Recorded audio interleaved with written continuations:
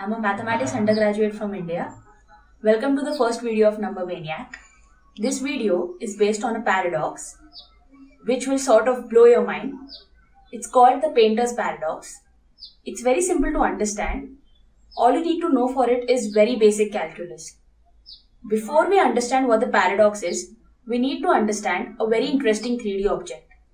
And before I tell you what that object is, let us go to Kolkata where a friend of mine, Kunal, is up to something interesting. Hey guys, I'm Kunal Borse, a mathematics student from IIT Kharagpur. Welcome to our channel Number Maniac. So, as you can see, I'm present here at a college in Kolkata.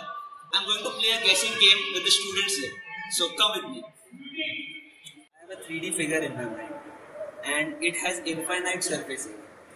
So, what do you think about its volume? What can you say about it? Well, common sense says that it should be infinite. Like if you imagine any 3D figure, uh, like a sphere or a cylinder, then the volume uh, is, should be infinite if the surface area is infinite. I have a 3D figure in my mind. One hint I can give you is that it has infinite surface. So, what do you think about its volume? so obvious. It's, it's infinite. What do you think?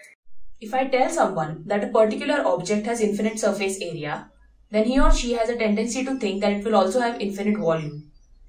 That's what happened with Kunal.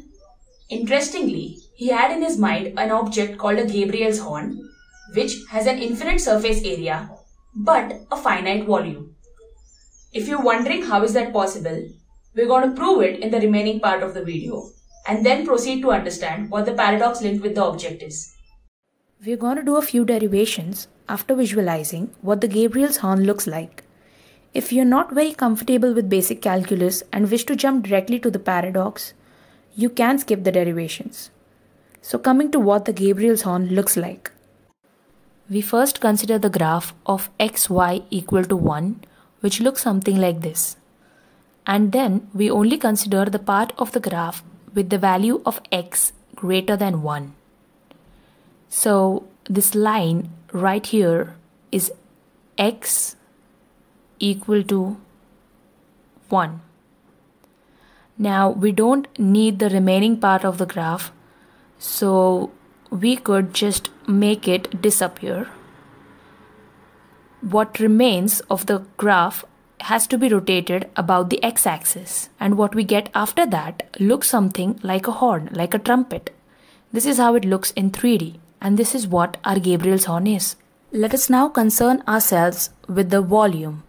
So we're going to prove that the volume is finite as I had mentioned earlier in the video. So going for the volume, it will be equal to integration over 1 to infinity because we are only considering the part of the graph greater than 1 and we integrate the elemental volumes dv. This line is again x equal to 1. Now for the elemental volumes, we need to consider the cross-sectional area, which will be a circle, and we consider the elemental length dx. Now this cross-sectional area which we considered, it will have a radius, it will be a circle of radius y which is equal to 1 by x in this case because it's the graph of xy equal to 1.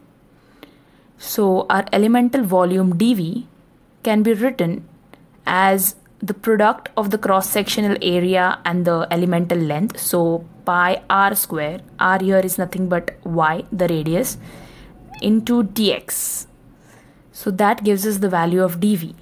So our elemental volume dv becomes equal to pi multiplied by y square which is 1 by x the whole square multiplied by dx. Now we need to integrate this elemental volume from 1 to infinity.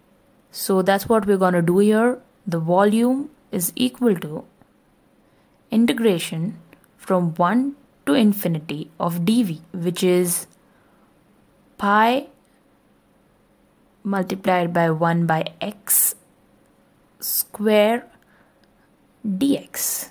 Now this gives us minus 1 by x into pi and we integrate it from 1 to infinity. So what we get here is the value of the volume as pi, which is a finite value.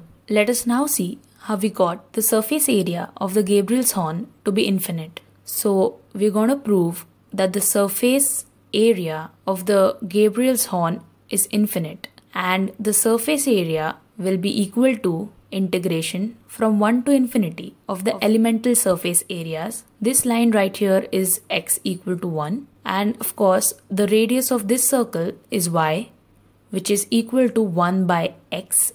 So our elemental surface areas become equal to 2 pi into 1 over x dl where dl is the elemental length along the curve y equal to 1 by x. So drawing a magnified view over here, the elemental length along x will be equal to dx and that along y will be dy for an elemental length dl along the curve.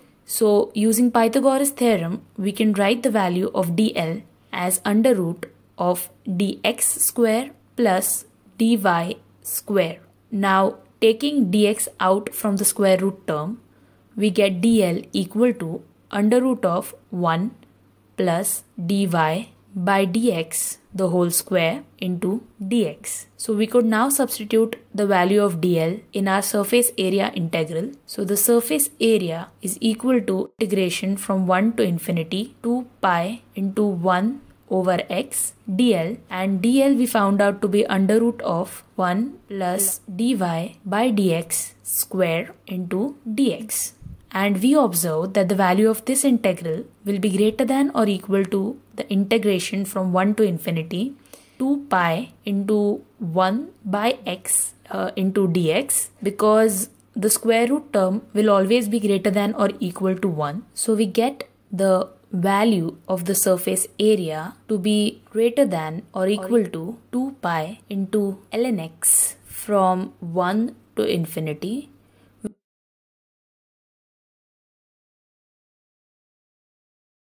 which of course is infinite. So we get our surface area to be infinite.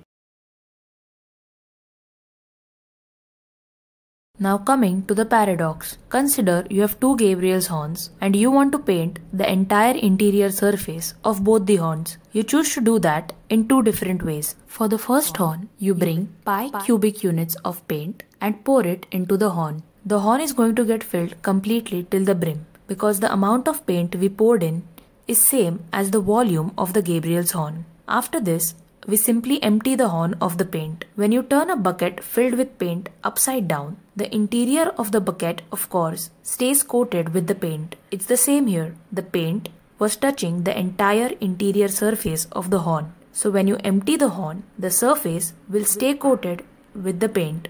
For the second horn, you want to avoid such a tedious method. So you start painting the inner surface directly. But hey, that surface has an infinite area. You will need an infinite amount of paint. But in the first method, we managed to paint the same infinite area with finite amount of paint. How did we do that? That's exactly what the paradox is. The surprising thing is that the painter's paradox has been resolved, which means that it is no longer a paradox. We'll be providing an explanation in one of the subsequent videos. Till then, you can scratch your brains and try wondering how the actual paint that we think about differs from the mathematical paint.